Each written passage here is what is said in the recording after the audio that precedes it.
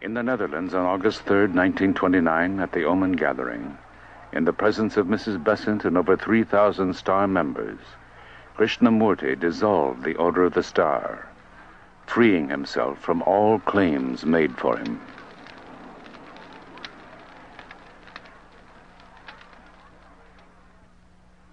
I maintain that truth is a pathless land, and you cannot approach it by any path whatsoever, by any religion, by any sect.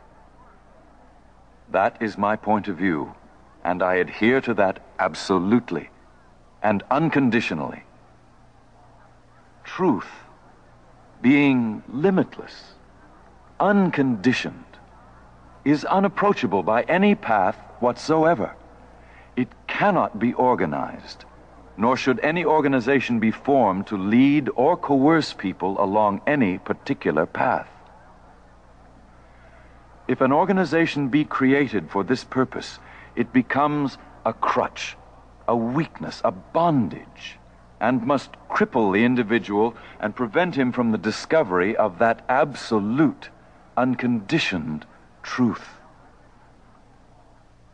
You can form other organizations and expect someone else. With that, I am not concerned. My only concern is to set man absolutely and unconditionally free.